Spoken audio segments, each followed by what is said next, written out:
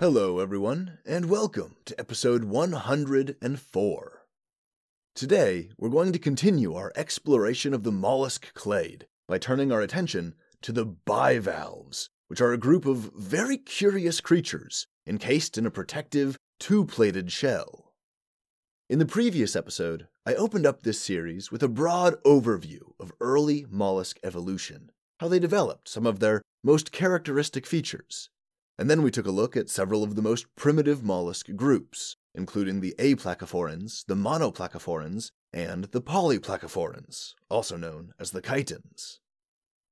These groups represent bottom dwelling marine genera that scrape through the muck of the seafloor, their mouths oriented downwards in the search for food. The mono and polyplacophorans enjoy the protection of shell plating along their back, offering passive defenses against any predators swimming overhead that would strike down at them. The bivalves are similar in the sense that they too often live attached to a rock or a coral or some kind of substrate along the seafloor, where they enjoy the protection of their shell. But unlike the placophorans, the bivalves have a shell that completely covers the visceral mass that is their actual soft tissue body. In addition, bivalves include species that have adapted to freshwater habitats, whereas the placophorans only include saltwater tolerant species. They're only able to live in marine habitats. The individual shell plates are called valves, so the term bivalves literally refers to their two mostly symmetrical shell plates. I want you to know that the technical term for these shells is valves, but I think that that term might be a bit confusing to a layman audience, because it implies something like pipes and a pressure system with uh, uh, valves, like, like a pneumatophore or something like that. So, for the rest of the episode, to avoid any confusion, I'll refer to each valve, each shell plate in a bivalve mollusk, as just that. I'll refer to it as a shell plate or the shell. I want to do this because I feel like plate is a much better word for visualizing what we're talking about. Valve has those other connotations, and it can be confusing when discussing stuff like bivalve siphons and pores, and, uh, like I mentioned a moment ago, things like the siphonophores seen in echinoderms.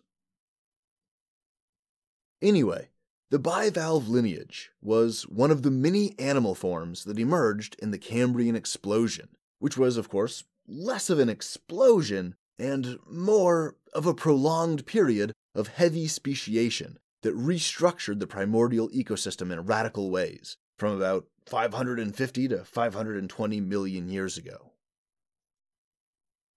During the early days of the Ordovician period, some 480 to 470 million years ago, so this is after about uh, 40 to 50 million years of uh, speciation and evolutionary divergence, the bivalves enjoyed widespread reproductive success.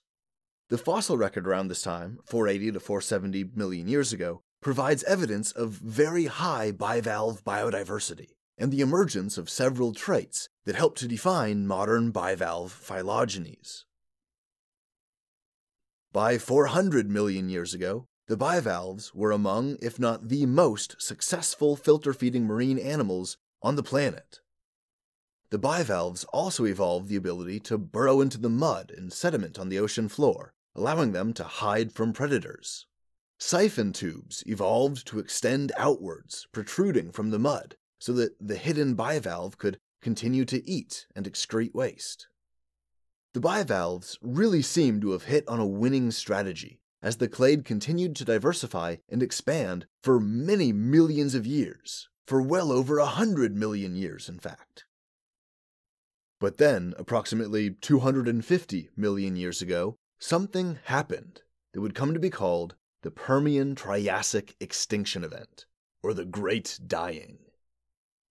The exact cause of this great dying is not conclusively determined, but it's suspected that heavy volcanic activity, methane-induced climate change, and slash or asteroid impacts created some sort of hellish condition on the surface of the Earth that wiped out more than 95% of all marine species. Virtually every aquatic organism, plant and animal alike, were savaged by this extinction event, and the bivalves, once so widespread and ecologically dominant, were not spared. their fate was no different. However, at least partially due to their burrowing behaviors, they were able to successfully integrate themselves into the new ecology that recovered after this terrible disaster, and their numbers recovered over the next few million years during the early Triassic period. A similar but unrelated clade, known as the brachiopods, fills many of the same ecological niches as the bivalves, but during the Permian Triassic extinction event, the brachiopods were largely destroyed. Where the bivalves recovered and rediversified, the brachiopods have survived, but they've not fully recovered. In the modern day, some 250 million years after the Great Dying, the brachiopods have only recreated one third of the biodiversity they had before the extinction. It was first theorized that the bivalves outcompeted the brachiopods. They did share the same ecological niche, after all. But subsequent analysis provided evidence that didn't support this idea. They provided evidence that showed that both lineages increased biodiversity at similar rates, and both experienced concurrent setbacks whenever there was some kind of disruptive geological or atmospheric or otherwise environmental event. The relative success of the bivalves is credited largely to happenstance, rather than any particular feature or salient behavior demonstrating superior competitive fitness over the brachiopods. But in any case, the current bivalve biodiversity is understood to be around 9,200 known species, with estimates of the true number of species on the high end reaching up to 20,000 species. Like all mollusks, the bivalves have a layer of flesh that enshrouds their body called the mantle. In most mollusks, the mantle is visually apparent, such as that on a squid or a chiton. But in the bivalves, it's a little more subtle. The mantle tissue is a thin membrane layer that encapsulates the soft body of the bivalve, known as the visceral mass. The mantle will secrete on its outer side layer upon layer of calcite and aragonite, which are two forms of calcium carbonate. Each shell plate has a high point, or a bump, called an umbo. This region of the shell represents some of the oldest secreted material, and as the shell grows, more layers of calcium carbonate are added along the distal edge. This growth pattern is what gives many bivalve shells their corrugated texture. They have many thin, shallow grooves running in concentric arcs orbiting the umbo, or running in concentric parallel lines with the larger edge of the shell. These grooves are evidence of the bivalve's growth cycles. In other cases, the shell is not grown by adding material to the edge, but instead is grown by adding more calcium carbonate to the layers already deposited, so as to thicken the plates and make them stronger and more protective. The two shell plates meet together at the hinge, where they're held together by a strip of tough ligament, which is rich with two types of keratin containing proteins, called tensilium and resilium.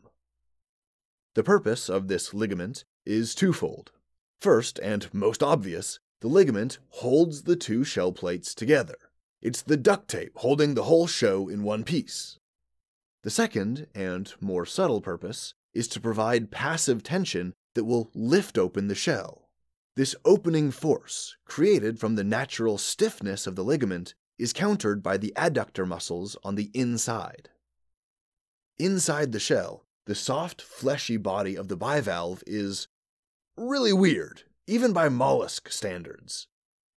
Virtually all other mollusks, be they tiny aplacophorans or giant cephalopods, they all have a distinct orientation to their bodies. They all have a distinctive bilateral symmetry, with a front and a rear end. Sure, it, it may look weird. Some of them, like the gastropods, may have noticeable torsion or a weird twisting asymmetry that's formed during their development, but at least it's something. A nautilus, for example, is a, a really strange cephalopod with a coiled shell. It coils up backwards behind their head. They have weird, bulging eyes and a tentacle shrouded mouth, and they swim backwards. But even with such a weird creature, you can still recognize body parts and make sense of its orientation and body form. You can still see the evolutionary logic in its body's design and its physiology and shape. But the bivalves, when it comes to their visceral mass, they are not like this. When you open up the hinge shell of a bivalve and look inside, what you see is a layered conglomeration of slimy, fleshy lumps and lobes.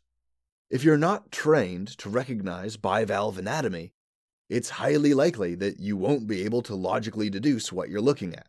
The organs and soft tissues have no real consistent symmetry. The gills are huge and they've been repurposed, so they're heavily mutated and distorted and they look like different things. While other structures, so typical of the mollusks, like the radula and the odontophore, are completely gone. And there's no head to speak of.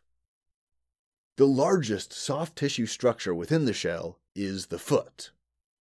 This muscular appendage can be stuck out of the shell like your tongue sticking out of your mouth. The rhythmic contraction of protractor and retractor muscles allow the foot to wave around, to wiggle and squirm and flex, and push off the surface to move around. Some bivalves, like oysters and a majority of scallops, lack these muscles entirely, and they can't move their foot around. The largest muscles in the bivalves are the adductor muscles, these dense wads of muscle are positioned on either side of the visceral mass, and they connect the shell plates together. By flexing the adductor muscles, the bivalve can close its shell and hold it shut tight, even against the prying claws of a larger predator, like an otter. As a result, these predators, like otters, have learned to just smash open the bivalve shell with a rock. It's a bit messier, but it still lets them eat the nutritious visceral mass inside. And of course, there are some evolutionary responses to otters smashing them against a rock. Some groups of bivalves have evolved thicker shells so that they're stronger, and it takes too much energy to break them open against a rock, and so a creature like an otter will just give up. Or they'll evolve to be smaller, and thus become less appetizing prey or a potential meal for a hungry predator. They'll look for something with a bit more meat on its bones, so to speak. Now, the largest organs in the bivalve's body are its gills. In simpler mollusks, like the chitons, the gills are small structures mounted along the sides of the animal's body.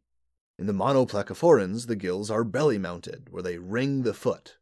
But in the bivalves, the gills are mounted within the shell, where they can access oxygen from water flowing through the mantle through those siphons. But the gills have also undergone significant adaptation to become the filter feeding organs known as ctenidia. This evolutionary adaptation, where the gills meant for respiration were transformed into ctenidia for filter feeding, took place sometime in the early Silurian period, about 444 to 433 million years ago. Consider the fact that the gills have cilia, which are used to clear debris and keep the gill tissue clean. In the ctenidia, the cilia have undergone extensive adaptation. Instead of clearing debris, they capture food particles and shuttle them through a stream of mucus towards the mouth. The cilia are elongated, and they can fold into various forms that create channels to optimize the flow of food. This food is typically algae and phytoplankton, but there are carnivorous bivalves that are known to eat zooplankton, and sometimes larger prey, like small invertebrates or even really, really small fish or fish larvae. This somewhat unique filter feeding strategy evolved because the traditional mollusk mouth form with a radula and odontophore is untenable in the bivalve body plan. Think about it like this in other mollusks, the mouth faces the external environment, and it's often pressed against rock or sediment. Then the radula, which is like a bony serrated tongue, comes out and scrapes the rock to loosen up the tasty algae particles. However, in the bivalves, the mouth is deep inside their shell, which fully encloses their body. So for the bivalves to eat like other mollusks, they'd have to open up their shell and then face plant onto the ground. Obviously, this really isn't a physiologically viable solution. it would place the bivalve in a state of extreme vulnerability, and it would flood their soft tissues with contaminating sediment. Instead, during the Devonian and Carboniferous periods, some 400 to 300 million years ago, the mollusks evolved a pair of tubes called siphons. These siphons functioned as an intake pore and an excretion pore. Food particles are sucked in through this intake pore through this siphon tube, and then they're filtered through the ctenidia, and then the excess and the waste is flushed out through the excretion pore, which is at the other end of the exit siphon tube. It's placed at the other end of the hinge. This particular physical arrangement has the benefit of keeping any contaminated sediment contained within an enclosed chamber with a unidirectional flow of water. In other words, this allows them to keep the mess in one place and to easily move the mess out of their body. Additionally, the rim of the shell and or the rim of the intake pore is often lined by small chemosensory organs, sometimes mounted on the tips of short tentacles. These chemosensory organs scan the incoming water, detecting the scent of desirable things like food particles and undesirable things like pollutants or sediment or toxins. Some species also possess a specialized patch of sensory cells called an osphradium, which isn't that well understood. The scientists who study mollusks believe that the osphradium is either an olfactory organ that smells or tastes the incoming water, or it's some kind of mechanosensory structure that can detect the turbidity of the incoming water. In the order Anomalodesmata, these carnivorous bivalves possess mechanoreceptory organs around the intake pore, which allows them to sense vibrations in the water caused by the flailing and struggling of some nearby prey animal.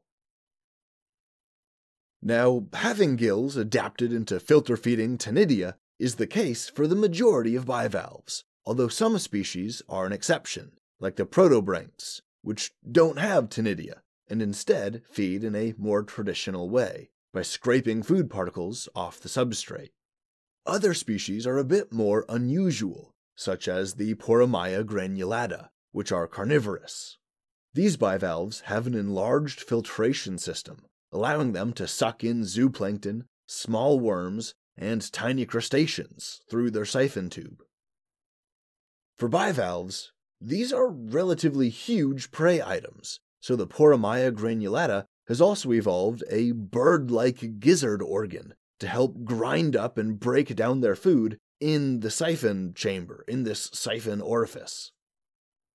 Whatever food they eat and however they eat it, the food particles are consumed, they're swallowed, and they're brought to the stomach organ, where they're broken down through a combination of traditional gastric juice decomposition and a more unique digestive method where the stomach cells phagocytize the food particles and break them down intracellularly.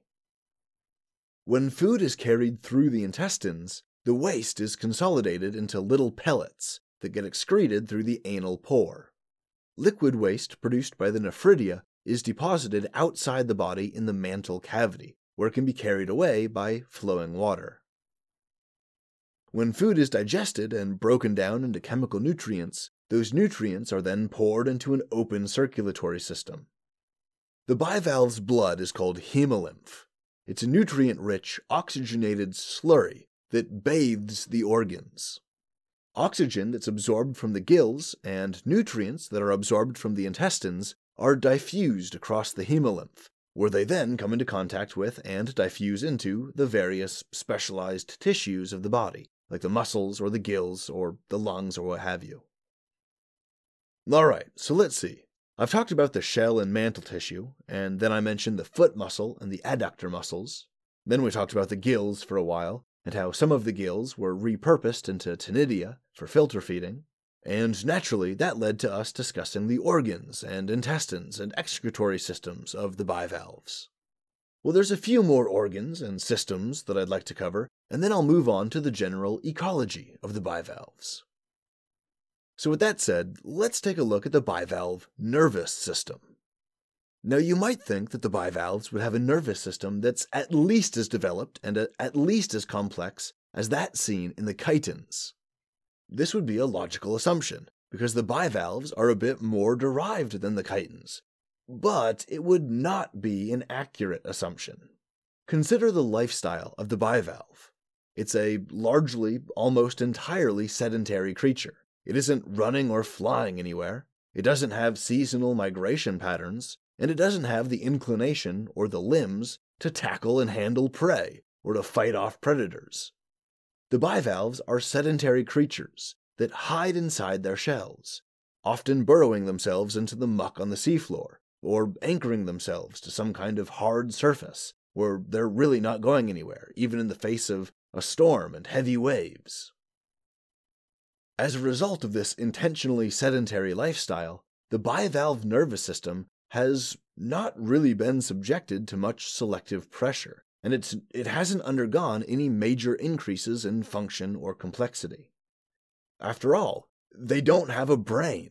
They don't have complex sensory systems that require heavy duty neural hardware to process the signals, and because they don't have limbs, they don't have sophisticated or complex behaviors that have to be managed by a motor cortex or some kind of mollusk version of a cerebellum. The bivalve nervous system, like the other mollusks, is composed of a ladder shaped nerve network, with a pair of nerve cords running laterally along the side of the organism, with a collection of neural crosslinks bridging the space between them. At the junction of the lateral nerve and the crosslink, there's a ganglia mass, meaning that the ladder organization is studded with pairs of ganglia. In essence, a ganglia is like a wad of neural tissue that's kind of like a miniature brain, although compared to a brain, a ganglion is very simple. It's a simple rudimentary structure that's usually only associated with a single body part or a set of body parts. It may be involved in, uh, for example, handling uh, some sort of reflex involved with that uh, that limb or that body part. It doesn't have the, the the foresight or the cognitive capacities of a traditional brain. For example, all bivalves have pedal ganglia, whose neurons innervate the foot muscle and control the movement and the tone of the foot. Similarly, the visceral ganglia innervate the adductor muscles, and thus they're involved in controlling the opening and closing of the shell. In bivalves that can swim by quickly flapping their shell plates open and closed, the adductor muscles are relatively large and powerful. The visceral ganglia which innervate them are also relatively large, as they're packed with the neural cell bodies of all of the nerves needed to innervate the large muscle mass. As an aside, you might think that that's a really, really silly visual of a bivalve, like a clam or something, flapping its shell plate open and closed really fast so that it can swim through the water. And I mean, yeah, that is a, it's a weird and silly visual, but that's actually what happens. It's crazy to watch videos of it. It looks ridiculous, but it's also kind of cool. It's some of the most motility that you ever see in bivalves. Then you have the pleural ganglia, which innervates the mantle cavity. This allows the mollusk to control the muscles around the cavity so that the flow of water can be adjusted as needed. In most species, the pleural ganglia control the opening and closing of the siphon tubes, but in the few species which have particularly large and articulating siphon tubes, they may have their own dedicated pair of ganglia. And then finally, there's the cerebral ganglia, which are positioned on either side of the esophagus. The cerebral ganglia innervate all of the sensory structures in the bivalve's body, such as the osphradium and the various mechanosensors and chemosensors lining the siphons in the mantle cavity. However, the, these aren't the only sensory structures in the bivalve. They're not the only organs that these cerebral ganglia innervate. They also possess organs called statocysts, which help detect their orientation in physical space. The statocyst is a spherical mass with an empty core, so it's kind of like a sack, or an inflated soccer ball or something. The cells that line the inside of the statocyst are covered in small hairs called setae. These all point inwards towards the inside of the statocyst cavity, and in this open space, there's a detached lump of mineralized tissue called a statolith. It's basically like a little pebble floating loosely within the statocyst, within the cytoplasm. When the bivalve is still, this statolith will be pulled downwards by the force of gravity. When the bivalve moves, either by pushing off with its foot, or by being knocked loose, or being moved by some other external force, then the statolith will bounce around according to the forces of inertia. And as the statolith moves around inside of the statocyst, it'll come into contact with these setae hairs.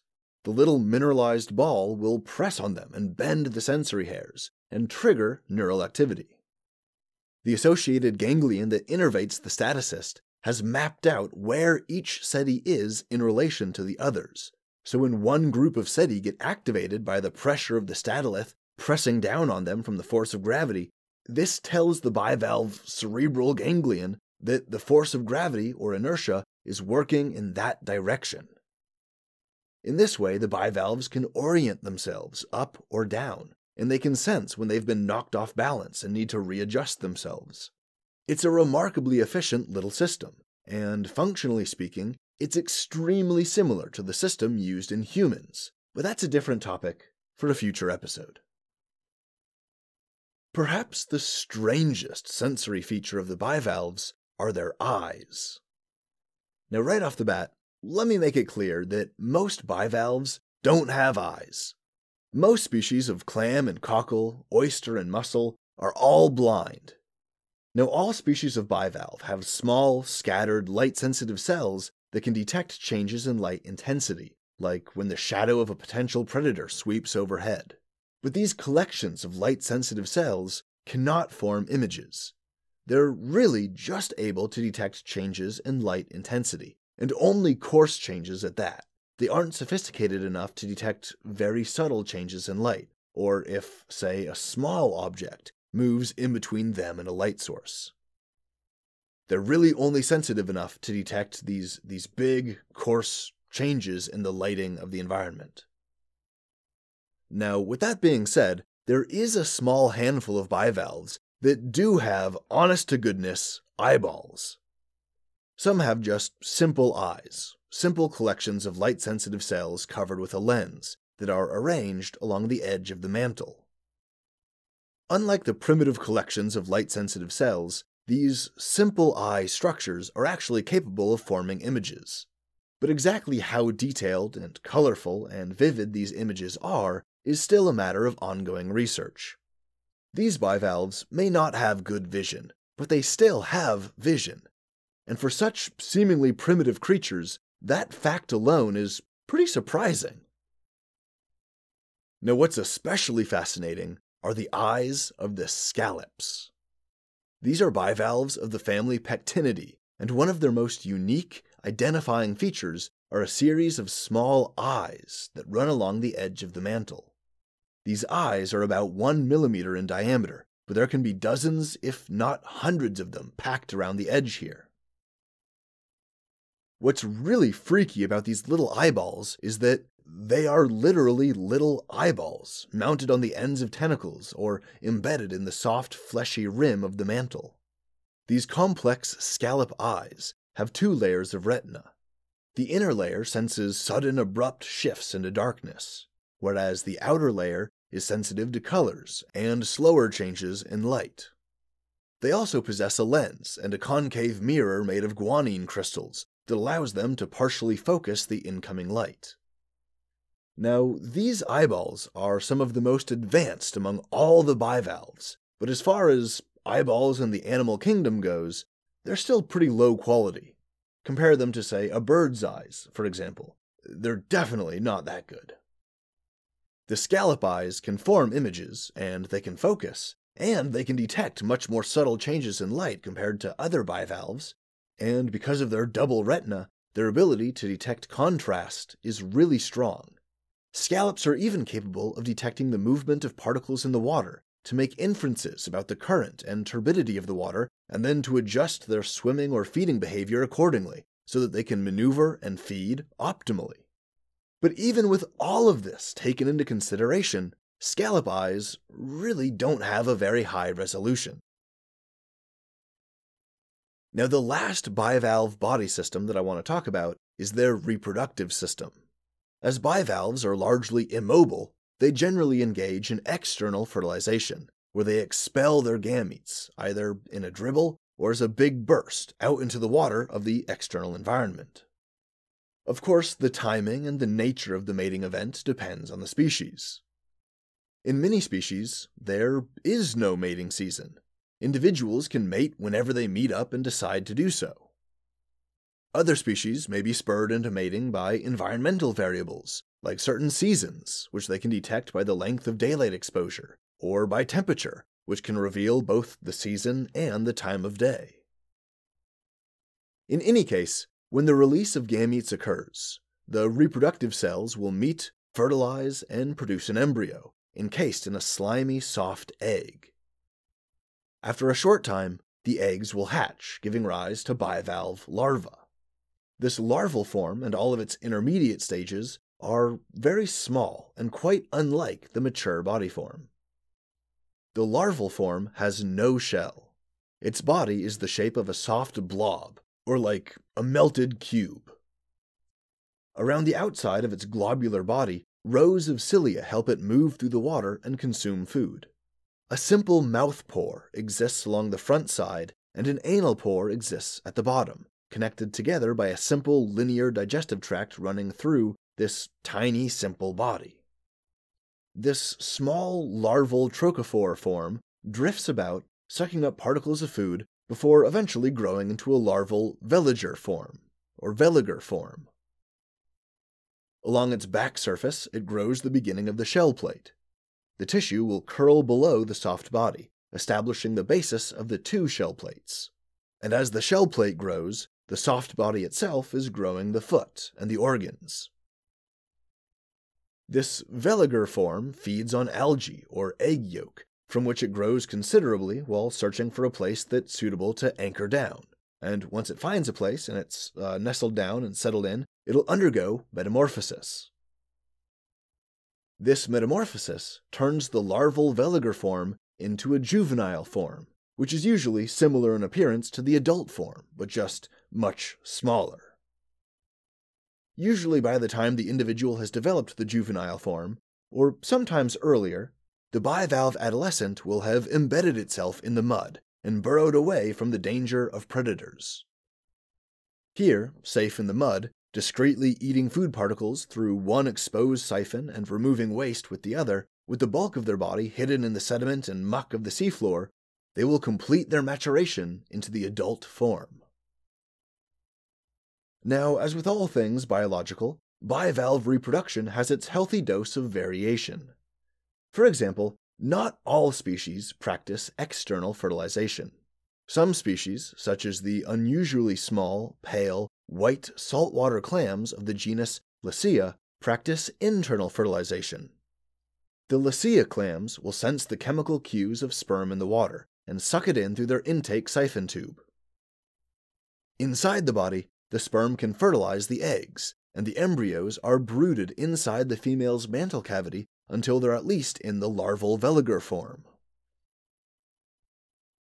There's a number of species, including members of the Lasaea clams, but also many others, that spend a relatively long time in their egg sac.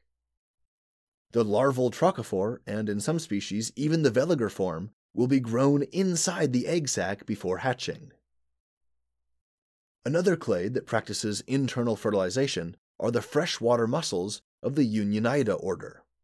These freshwater mussels will brood the eggs until they reach a specialized freshwater larval form known as a glochidia. In this form, the larvae look like extremely tiny, semi transparent mussels with hooks in their larval shells. This unique glochidia larval form will use their hooks to latch onto the gills of fish. Unionidia are really fascinating for this. Their larvae are temporarily parasitic, hooking themselves to a fish's gills. Here, they actually won't do too much damage to the fish, they're not infecting it, but they are using it as a mobile platform that moves them through the water and brings them within proximity of food. After a short time, these Glochidia larvae will encrust themselves in a cyst structure, mature into the juvenile form, and then hatch and detach from the fish. This is a fascinating example of bivalve ecology. It's not a hugely influential or particularly important ecological interaction, but it is really weird and unusual, and for that reason, it's really fascinating. In a more general sense, the bivalves are ubiquitous in the shallower waters of the world, including intertidal zones. As juveniles, they'll bury themselves in the sediment, and, for the most part, they'll stay there for their entire life. Using their foot, they'll make a little burrow for themselves, they'll dig themselves in, they'll poke out their siphon tubes above the surface of the seafloor, and then they'll just live like that for their whole life. The mussels will use a thready, fibrous, protein rich substance to chemically anchor themselves to rocks and corals and other hard surfaces. Although this gets them out of the mud and a little bit off the ground, it also leaves them more exposed to predators. Many bivalves that live out in the open like this, and not underground or at least under a layer of mud, have evolved specialized shells. The bottom shell plate can be almost flat, and the top shell plate will be thickened and equipped with spikes and thorns to deter predators. In general, predators find the bivalves to be, in a word, frustrating. The bivalves have very strong adductor muscles, and they can keep themselves tightly closed, and their thick shells and awkward shape makes them hard for predators to handle and hold down, especially if uh, the predator is like an otter and it's just pulled them out of the water, and so the shell is wet and slippery. If a siphon tube gets ripped or bitten off, they can be regrown. Some species have evolved potent escape mechanisms, such as the rapid digging speed of the Pacific razor clams. The file clams of the Lima genus can flap their shell plates to swim away. Other file clam species have little tentacles which break off when they're attacked. The tentacles writhe and wiggle and release a bad smelling chemical that wards off predators. Some of the cockles use their foot like a spring or a lever to leap away from predators. And I mentioned earlier that the scallops have literal eyes, which allow them to see predators coming from a ways away and close their shells in anticipation. Despite these many defensive strategies, there are those predators that have evolved ways to counter them, to nonetheless get by the defenses and eat the bivalve. For example, certain snails will use their radula to bore a hole into the shell of the bivalve. They'll either make a large hole that they can fit their mouth in, or they'll make a smaller hole and then extend a proboscis to suck out all of the soft, wet tissue of the visceral mass. Some predators, like the octopus with its suction cups, or the starfish with its hydrostatic feet, will stick themselves to the shell plates and use raw muscular force to pry them open in order to get at the soft visceral mass inside. Some bird species can also pry open the shells. Sea otters and walruses will just smash them against rocks, breaking them open with brute force to get at the tasty meat inside. Aside from this role in the food chain, the bivalves don't have any immediately obvious ecological benefit. To any layman observer, it would seem that they don't really do anything. They just hang out, usually buried in the mud, doing nothing but filter feeding with one siphon and shitting out waste with the other. However, when scientists did a closer analysis, they found that the bivalves play a critical role in cleaning the water column.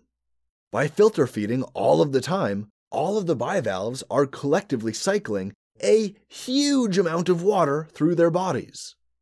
Various pollutants, like metals or mineral particulate debris, can be sifted out and integrated into their shells. So, in essence, they can bioaccumulate certain polluting compounds, removing them from the water. This comes at a cost, of course, as it can harm the bivalve and potentially could harm a predator if it ate a bivalve whose visceral mass was tainted with mercury or something. But in the aggregate, this ecological function, this filtering function, is of huge importance.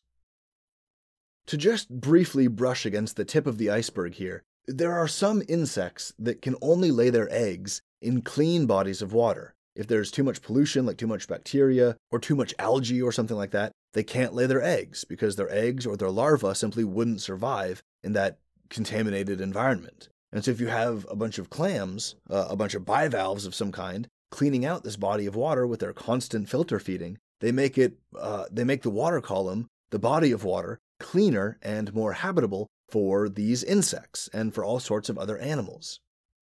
Of course, the insects, if they can lay their eggs in a lake or a pond or a stream or something, and little larva insects are born from that, and adult insects are flying around mating and laying eggs, well, all of that activity is going to attract amphibians and reptiles and birds, and this in turn is going to attract, you know, larger predators like various carnivorous reptiles and mammals and birds of prey.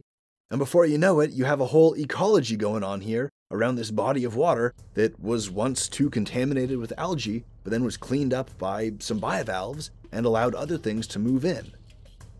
In this way, the bivalves are uh, very real ecosystem engineers. They can help purify aquatic habitats and make them that much more habitable for all sorts of other organisms, for entire ecosystems. This is why this value is of huge ecological importance, and it's all thanks to the humble bivalve. Alright, everyone, that's it for this episode. That's your look into the world of the bivalve mollusks. In the next episode, we'll be turning our attention to the slugs and the snails of the clade gastropoda. It'll be a slimy, disgusting, badass episode. So subscribe to the channel to check it out. Hit that subscribe button right now. And while you're at it, hit that like button as well. It really helps the podcast with the YouTube algorithm, which always seems to be working against me as a, a small creator. You know, I don't know why, but that's just how it is. So hit that like button, subscribe to the channel, check out the official store if you want to, become a Patreon supporter if you really want to support the show. I super appreciate that. And as always, thank you so much for listening.